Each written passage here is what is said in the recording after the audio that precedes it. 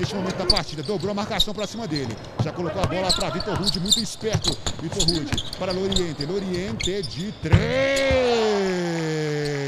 Armar a melhor jogada, conseguiu passar no Misnet, Alistone. Vai para a linha de três pontos. Olha o arremesso, a bola chora e cai. Tá lá dentro. Desequilibrado. Vamos ver se os times conseguem emplacar agora. Vitor Andrade, mas quase foi um erro. Mas conseguiu no gancho colocar lá dentro. Pepo Vidal, marcado agora de longe pelo Venegas. Colocou o Rude em ação. Rude buscou espaço. Mais dois pontos para o Biguá. Só na quadra que é o Tintarelli. Tem o Rodrigues. Rodrigues com ela. Grande passe de Rodrigues.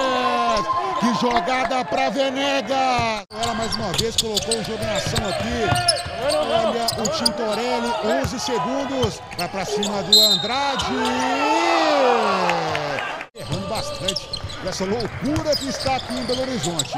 Vem embora. Olha o Lorente, de novo, liberdade total. Assim ele não perdoa. Dono de Sims, que não vem sendo muito acionado aí neste segundo tempo, passou Dono de Sims.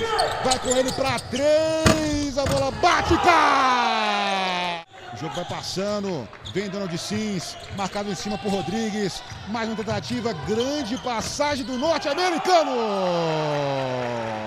E a bola não caiu. O treinador não gostou nada, nada do que viu. Lá vem os uruguaios, caminho aberto.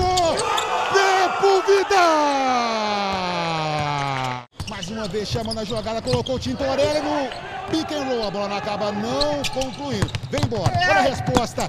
Vai, Venega! Tempo Vidal. Vem aí, o time argentino batalhando, partiu para três no estouro! Vitória do Biguá em Belo Horizonte!